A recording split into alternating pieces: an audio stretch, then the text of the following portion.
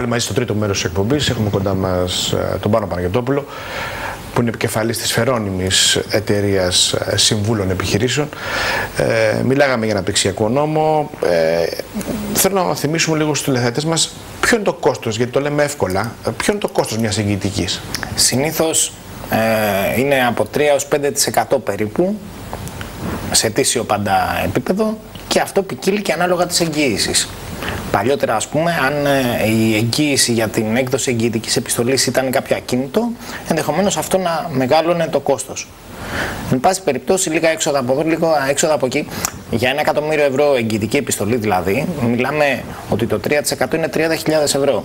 Συν, συν κάτι χαρτόσημα 50.000 χοντρικά. Στα 50.000 αυτά ε, μπορεί κάποιος να κάνει στην επένδυση κάποια άλλα πράγματα. Είναι το 5% σαν να έπαιρνε ένα 5% παραπάνω επιδότηση. Σωστό. Ε, πάμε τώρα λίγο στο πρόγραμμα του, των μικρομεσαίων επιχειρήσεων, το οποίο λύγει. Τη δεύτερη δράση. Η δεύτερη τώρα αυτή τη στιγμή. Ε, δύο φορές blackout στο σύστημα. Όχι δύο φορές, για την Παραπάνω; ακρίβεια ε, όλη τη μεγάλη εβδομάδα μέχρι και την Τρίτη του Πάσχα ε, δεν λειτουργούσε.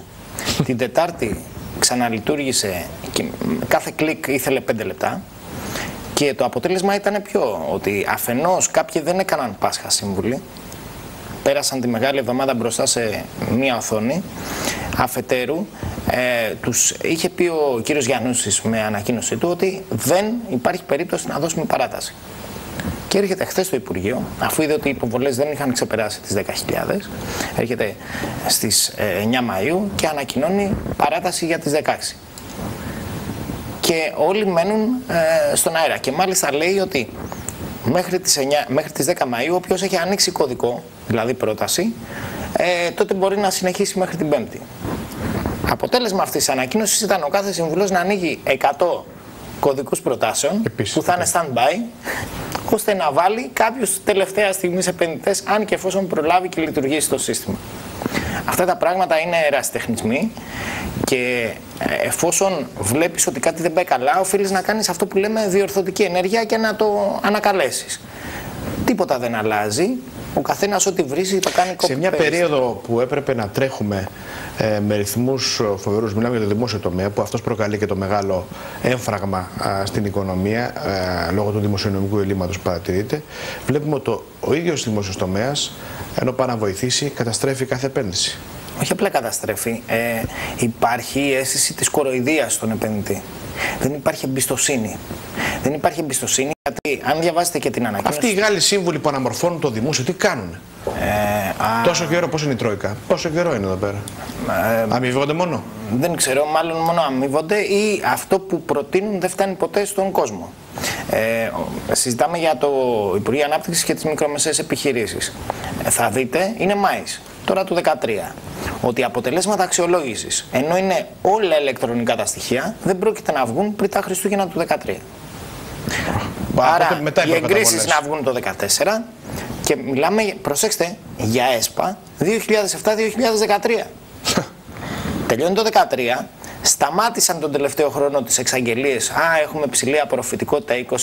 Αυτό είναι πολύ σημαντικό που είπατε τώρα, ότι οι εγκρίσεις όλων αυτών που πνίγηκαν και πιστεύουν ότι αύριο θα πάρουν χρήματα, ε, χρήματα θα πάρουν του χρόνου την άνοιξη.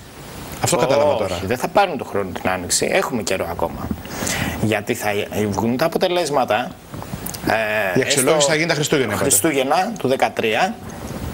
Το 2014 θα πάνε να υπογράψουν τη σύμβαση για να ξεκινήσουν. Μετά τρεις μήνες από την υπογραφή, ο, κλασικά θα τους δοθεί δικαίωμα να υποβάλουν τιμολόγια. Άρα θα έχουν έλεγχο μέχρι τον Ιούνιο του 2014, να θυμόμαστε ημερομηνίες και κατά το Σεπτέμβριο του 2014 ενδεχομένως καλώς έχοντα των πραγμάτων και χρημάτων υπαρχόντων θα πληρωθούν. Θα το κρατήσουμε αυτό. Ε, αφού πάμε μαζί, κύριε Παναγιώτοπουλε, κυρίες και κύριοι, πάμε στην σύνταξης. Εκεί η Μαρία Κρυβού είναι κοντά μας. Θα μας μεταφέρει τις τελευταίες ειδήσεις από το χώρο τουρισμού, των μεταφορών και του τουριστικού real estate. Μαρία. Χαίρετε κυρίες και κύριοι. Πρόγραμμα που αφορά στην υλοποίηση δράσης για 10.000 θέσεις εργασίας στον κλάδο του τουρισμού παρουσίασαν ο Υπουργός Εργασίας Γιάννης Βρούτσης, η Υπουργός Τουρισμού Όλγα Κεφαλογιάννη και ο Υφυπουργός Εργασίας Νίκος Παναγιοτόπουλος. Ο συνολικός προπολογισμό της δράσης, που έχει τίτλο Επιταγή εισόδου στην αγορά εργασίας για άνεργους νέους του τουριστικού τομέα ηλικία έως 29 ετών, ανέρχεται στο ποσό των 39 εκατομμυρίων ευρώ και χρηματοδοτείται από το επιχειρησιακό πρόγραμμα Ανάπτυξη Ανθρώπινου Δυναμικού με πόρους της Ελλάδας και της Ευρωπαϊκής Ένωσης. Την υλοποίηση αναλαμβάνουν ο ΣΕΤΕ και η ΕΕΔΕ ως συνδικαιούχοι και θα πρέπει να έχει ολοκληρωθεί μέχρι τις 30 Οκτωβρίου του 2014.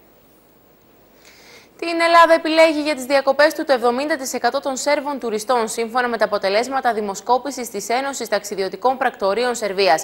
Σύμφωνα με το διευθυντή της Γιούτα, Αλεξάνδρ Σένισιτς, η πλειοψηφία των Σέρβων τουριστών επέλεξε και φέτος την Ελλάδα για τις καλοκαιρινές διακοπές και ακολουθούν η Τουρκία, η Ισπανία, η Αίγυπτος, η Τινησία, το Μαυροβούνιο και η Κροατία. Την ίδια ώρα, αύξηση 20% καταγράφει μέχρι στιγμής η πώληση τουριστικών πακέτων στη Σερβία για το φετινό καλοκαίρι. Σε πολλά τουριστικά γραφεία έχουν εξαντληθεί τα φθηνά τουριστικά πακέτα για την Ελλάδα κατά τους μήνες χαμηλής ζήτησης Μάιο και Ιούνιο, ενώ σε άλλα πρακτορία έχουν μείνει ελάχιστα τουριστικά πακέτα για τους ελληνικούς προορισμούς και τους μήνες Ιούλιο και Αύγουστο. Δεύτερη στη λίστα με τα ομορφότερα μνημεία του κόσμου φιγουράρει η Ακρόπολη, σύμφωνα με το CNN, με αφορμή τις πλουσιότερες διακοπές όλων των εποχών που αγόρασαν πρόσφατα δύο άτομα για 1,5 εκατομμύρια δολάρια. Το Αμερικανικό δίκτυο έκανε τη συγκεκριμένη επιλογή. Στο πακέτο αυτών των διακοπών, που θα διαρκέσουν δύο χρόνια, οι τυχεροί θα επισκεφθούν τα 962 μνημεία πολιτιστικής κληρονομιάς της UNESCO. Στο δημοσίευμα επισημαίνεται η μαγεία, η ομορφιά και η ερμονεία του αρχαίου ελληνικού μνημείου. Πρώτος στη λίστα με τα ομορφότερα μνημεία του κόσμου κατέταξε το CNN CNN το ναό της Αγκόρ στην Καμπότζη, ενώ μετά τον Παρθενών ακολουθεί το Μπαγκάν στην Μιανμάρ. Αύξηση κερδών και ταχύ ανάπτυξη της εταιρείας ανακοίνωσε για 25η συνεχή χρονιά ο όμιλος Emirates, ε, διατηρώντας την ισχυρή του θέση παρά τις συνεχιζόμενες υψηλές τιμές των καυσίμων και το αδύναμο οικονομικό περιβάλλον. Το οικονομικό έτος έληξε επίσης με πολύ θετικά ορόσημα και εξελίξεις σε ό,τι αφορά τη χωρητικότητα. Στην ετήσια έκθεση του ομίλου για το οικονομικό έτος 2012-2013, η εταιρεία εμφάνισε καθαρά κέρδη 845 εκατομμύρια δολάρια, αυξημένα κατά 34% σε σχέση με το προηγούμενο έτος.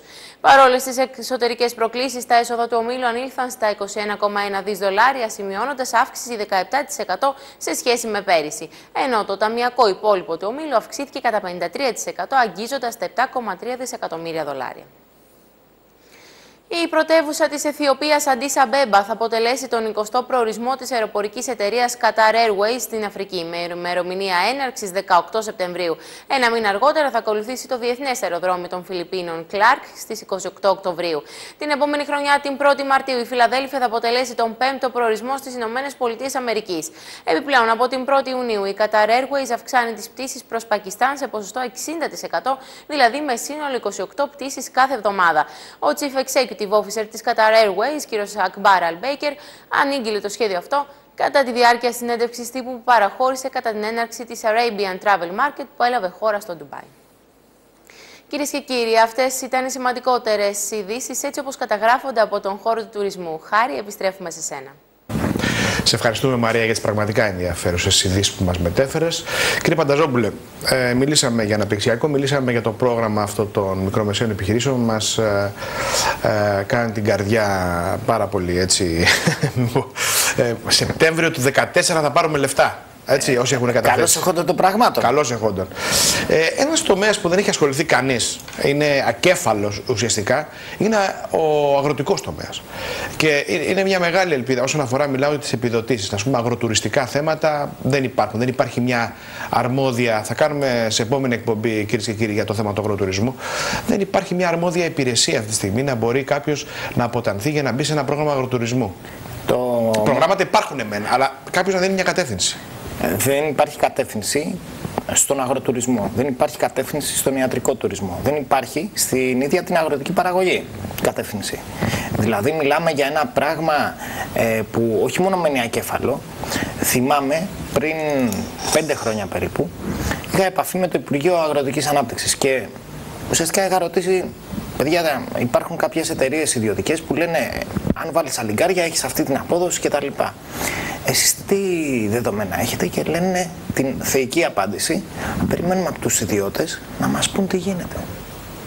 Δυστυχώς με αυτόν τον τρόπο λειτουργίας στην Ελλάδα, αν δεν πάρει κατεύθυνση ο απλός ο επενδυτής, ο μικρομεσαίος η ραχοκοκαλιά, δεν μπορεί να έρθει ανάπτυξη ε, αθρηστικά σε όλο τον κλάδο και να πάρει μαζί όλη την οικονομία να σηκωθεί. Καταρχήν περιμένουν τα πάντα από τον τουρισμό, ε, ο οποίος είναι στον αυτόματο. Και το ΦΠΑ δεν, δεν τον πειράζουν. Ναι, εντάξει. Ο ΦΠΑ πες ότι είναι θέμα της Τρόικας ε, και θα είναι στην επόμενη συζήτηση που θα γίνει τον Ιούνιο. Ενδεχομένως είπα. Ε, και αν πάρουμε τώρα και τη δόση όλα μαζί και τις δύο δόσεις μαζί, σίγουρα θα το βάλουν μέσα. Μην τους πειράζει μετά, μήπως τεραχωρηθεί η Τρόικα. Γιατί υπάρχει το ενδεχόμενο να πάρουμε όλες τις δόσεις μαζί τώρα. Μαζί. ναι, να γίνουν καλοί. Οπότε γι' αυτό το παίζει καλός ε, υπουργός ο Στρονά και καλά κάνει, έξυπνη τακτική. Ε, αλλά το θέμα, και να σας πω κάτι, το ΦΠΑ στην εστίαση, εντάξει, πέστε θα μειωθεί. Θα το περάσουν οι ιδιοκτήτες ε, στις εταιρείες τους μέσα.